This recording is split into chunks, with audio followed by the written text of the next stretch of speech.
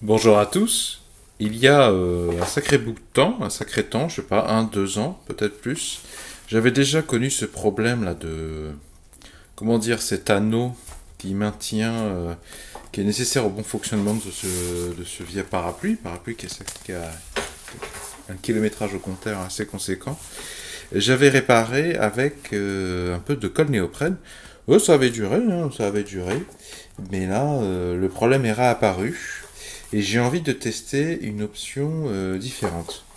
On voit là les traces laissées en fait par les picots, euh, picots qui ont été formés euh, par la machine industrielle qui a serti en fait l'anneau à la base, mais ça a fini par, par meuler.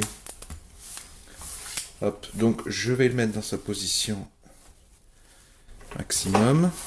Et cette fois-ci, j'ai opté pour des clous. Alors, euh, j'ai farfouillé sur Amazon, hein, sur la ligne d'Amazon. Vous trouverez euh, la référence dans la description sous la vidéo si ça vous intéresse. J'ai essayé de trouver quelque chose qui soit fourni avec un packaging de rangement parce que quand j'achète des sachets, c'est, enfin, je préfère pas acheter des sachets avec des, objets dedans parce qu'un sachet, euh, c'est pas un rangement. C'est vite galère. Et puis, bien sûr, il fallait choisir de préférence quelque chose avec une tête suffisamment large pour bien venir saisir le bout de métal et de pas trop profond non plus, pour pas ressortir de l'autre côté. Alors d'aucuns trouveront que c'est pas forcément assorti en termes de couleur et de motifs. Euh, moi je précise que dans mon cas, euh, l'aspect esthétique avait très peu d'importance, puisque je sors déjà avec un parapluie dans cet état. Donc je vous laisse imaginer ce que l'importance pour moi que ça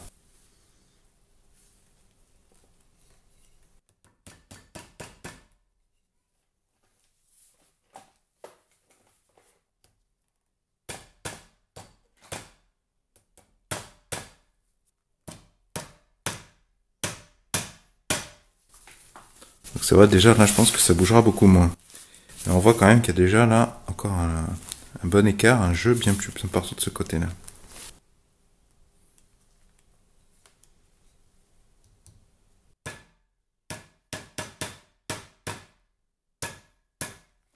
Bon là j'ai abîmé mon clou, il vaut mieux que je le remplace là.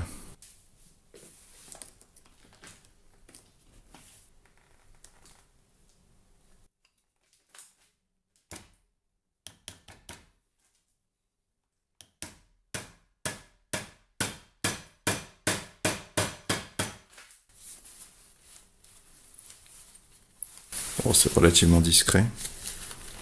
Un dernier ici.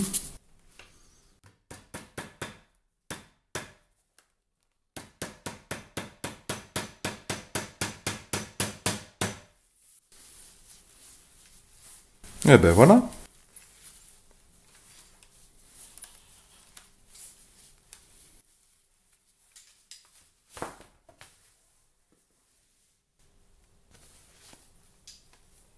Alors, une remarque, euh, c'est que ça, c'est euh, un objet qui va être exposé à la pluie et à l'extérieur. Ça, ce sont des clous de tapissier, de tapisserie, qui ne sont pas faits, a priori, pour aller en extérieur.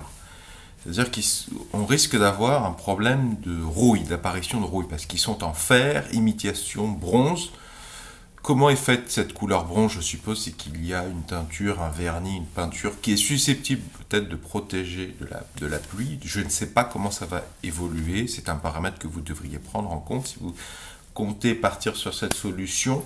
Euh, ce sera peut-être plus malin de prendre des clous inoxydables parce que si ça rouille rapidement, euh, complètement contre-productif.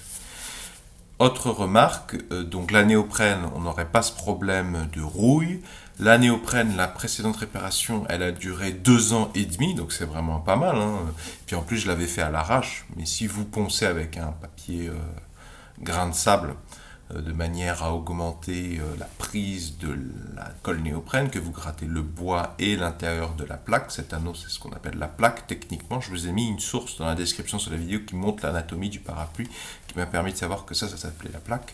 Donc, disais-je, la colle néoprène, l'avantage c'est qu'en fait, euh, sur certains parapluies plus haut de gamme, je suppose, sous la plaque, il y a un joint, il y a un joint qui empêche l'eau de ruissellement qui rentrerait malgré tout, qui réussirait à rentrer, de ne pas continuer à s'écouler, d'aller attaquer les baleines qui, elles, avec le temps, euh, sont plus soumises au risque de rouille. Si vous mettez de la colle néoprène, l'avantage c'est que la colle néoprène joue le rôle de ce joint. Donc ça peut être très intéressant. En tout cas, j'espère que vous avez apprécié cette petite tentative de réparation. Je vous tiendrai informé de l'évolution des choses dans le temps dans la description sous la vidéo. Dans la description, vous trouverez l'épisode précédent, la partie 1, où je montre euh, la même réparation, mais avec la colle néoprène. Si vous appréciez ma démarche de partage d'informations, de partage de solutions pour marcher, pouvez-vous mettre un pouce vers le haut, s'il vous plaît, pouvez-vous mettre un j'aime? Si vous aimez réparer les objets du quotidien un maximum par vous-même, je vous invite à vous abonner à la présente chaîne YouTube, parce que vous êtes au bon endroit. Bienvenue. D'ailleurs, à cet effet, vont s'afficher à l'écran trois choses. Un rond, un rectangle et un carré. Le rond, vous cliquez dessus, ça vous abonne gratuitement à la présente chaîne YouTube. Le rectangle, c'est la thématique astuces pour la maison, qui concatène plein d'épisodes dans la même veine, notamment des réparations d'objets du quotidien qui ont déjà été publiés.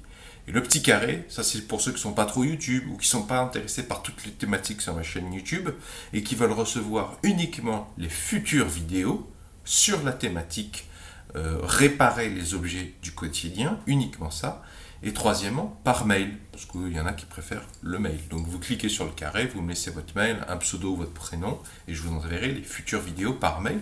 C'est gratuit, vous pouvez vous désinscrire n'importe quand. Je ne garde pas les informations des gens qui se désinscrivent, conformément à la loi.